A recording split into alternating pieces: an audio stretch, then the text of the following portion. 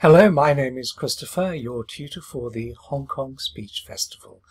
Let me record your poem or other piece in BBC English with excellent pronunciation, intonation and expression. Just send a copy of your poem or other piece to the email address you see here.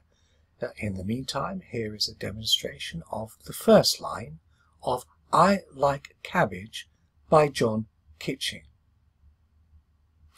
I like eating cabbage.